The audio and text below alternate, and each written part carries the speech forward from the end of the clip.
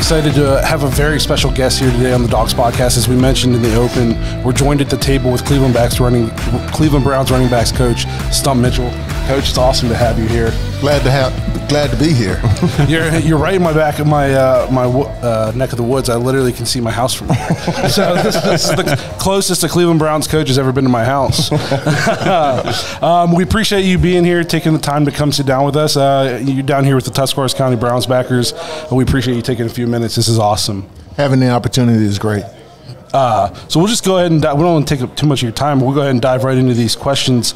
Um, what does it mean to be the running back coach for a team with such a rich running back history like the Browns? Well, it's awesome, especially when you have uh, cali- first t- first class caliber running backs, uh, first class caliber offensive line, and tight ends and receivers that will block. So uh, it makes our job a heck of a lot easier. I, I uh, Speaking of the, the running backs, obviously Nick Chubb, running back. We always I argue with people he's the best running back in football. The Browns have always we've had good players before that the team you know that the the fan bases has liked. What do you think it is about Nick Chubb that has really like endeared him to the fan base so much? I mean, he's he's everybody's favorite player. What is it about him as the person and the player that everybody just kind of gravitates to? I think he shuts up and does his job, and he's loud when he's running and I think I think that's what the fans love. Yeah. You don't hear him complain about anything. You just hear him go to work and do his job. Is he is he as quiet as he seems, or is he like one of those guys where he's quiet in public and you get him behind closed doors and he, you can't get him to shut up? Or is he really just like that lunch pail kind of guy? If you ever seen any of Nick uh, weightlifting stuff on Instagram yep. or anything like that, he's at his high school he goes back during the off season and he trains his high school track team. He gets his training there. He's he's he's a no nonsense guy. Uh, all he wants to do is win. Uh, all he wants to do is inspire other young men and young women to be successful, work hard, and uh, that's who he is. We uh, we could use a no nonsense guy on this podcast. well, I mean, I guess since we're on the topic of Nick Chubb, I mean, you've kind of explained it, but what's it like for you as a coach to coach that kind of a running back with you know with his talent and we we think he's the best running back in the league by far. Just as a pure runner, he's amazing to watch. Well, I got one goal for myself, uh, and that's to hopefully get Nick through this year without having a fumble that's been the that's been the deal uh, and something that that we we're working on all the time. He's only had one fumble uh, a year, right. but that's something we don't want to have because right. it, it, really cost us uh, last year. Mm-hmm. I mean, there's not many things Nick do wrong. Uh, but unfortunately, in the Miami game, it, it, it, cost us. It hurt us. We were about to score in some way or another, either a field goal. We were already in, in position, or it, we gained, I think, six or seven yards on the first down. But unfortunately, we put that one on the ground. And uh, so that's the main the main goal. Uh, continue to do our ball security drills. Hopefully, it won't happen. But uh, if it does, then we just move on. It's not it's not a big deal. Uh, but it, it's something that that's my goal to try to get through the year, uh, that Super Bowl game without having a fumble at, at, all. Is it hard when you're coaching a guy like Nick Chubb? He does so many things great. To it's almost like you don't want to nitpick him, but like you're constantly trying to improve him. Is it hard to find things to like focus on like that, or like you got to come in with little goals to, to kind of keep yourself from being like, well, this guy's good. I don't have to worry about Nick. Oh, I don't mind Nick picking Nick at all.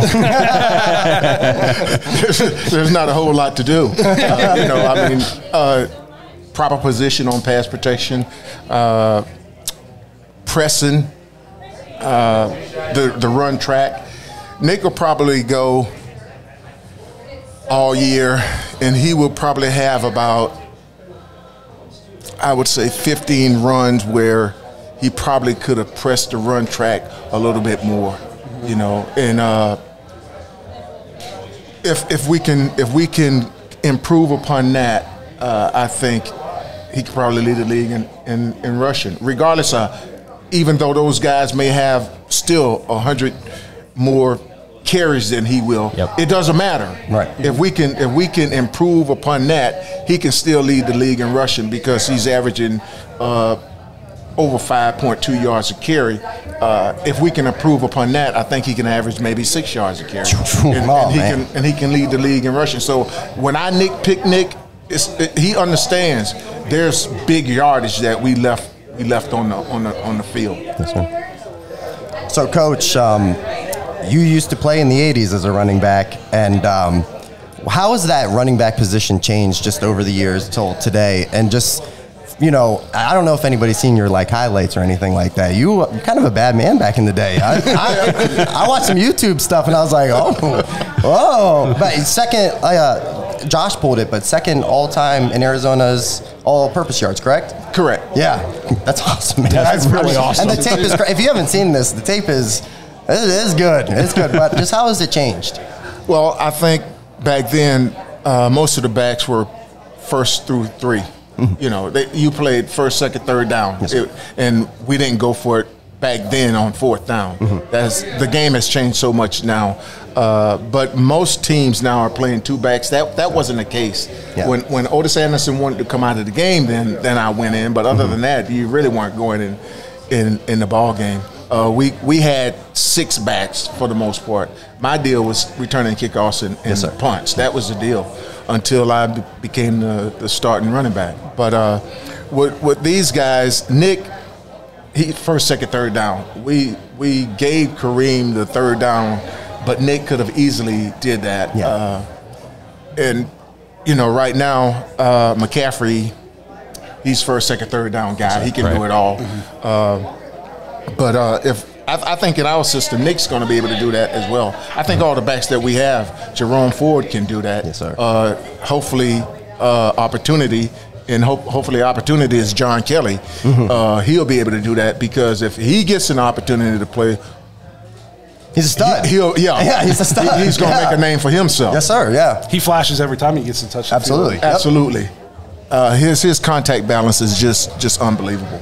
Uh, he does a heck of a job on the scout team preparing the defense uh, for whoever we're playing, and uh, he does a great job uh, giving a good look on on scout team when it comes to uh, any any any phase of the special teams. Yeah. Uh, so hopefully he will get an opportunity this year, and if he does, it's going to be great for us. What a blessing to have such a just just deep depth chart just just work with. I mean, Yeah, no question. Uh, Demetric Felton, you know, we brought in a few years ago uh, at UCLA. He was both. Yeah. He he uh, was a good running back, but he was also a good receiver as well. So hopefully, uh, those guys will get an opportunity. We have all we need.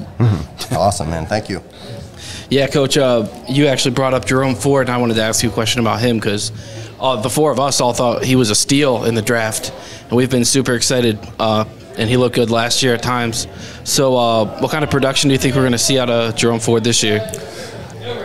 I think it's all going to be based on uh, the opportunities that he get. Uh, I don't want to put anything on him because uh, really, uh, Jerome Ford at, at Cincinnati, he, he he rushed for I think like 1,300 yards. He had a six yard per carry average. Uh, he's a very talented guy. He's, he has great hands. He's got great speed. Uh, can make defenders miss. So uh, I look for nothing but production from him. But uh, that's because everybody else is going to be doing their job as well. Awesome. That's awesome. So Yeah. if, if we can just do one last thing real quick, just can you give us a quick background of where your nickname Stump came from? Well, I was playing football against guys probably three or four years older than I was, and uh, when I graduated from co- when I graduated from high school, I was only 155 pounds. uh, I couldn't get a scholarship any place except for the Citadel. I had a chance to walk on there, and uh, uh, Bobby Ross was the head coach at that time. Uh, Ralph Friedgen was the offensive line coach, and the guy that recruited me uh, actually got me an opportunity to play there because Johnny Newton and uh, Mr. Calvin Newton, they were guys from my hometown that actually attended the Citadel, and they got me a chance to, to go there. That's awesome. That's awesome. Well, uh, we won't take up too much of your time. You got a lot of people here you want to hang out with. Uh, again, we appreciate you sitting down, giving us some time. It was awesome to meet you, uh, and good luck this season. All right, thanks for the opportunity. Thanks for listening to another episode of the Dawgs Podcast. Make sure you subscribe on YouTube and follow us on Twitter at the Dawgs Podcast. Get your thoughts on the show at thedawgspodcast.com.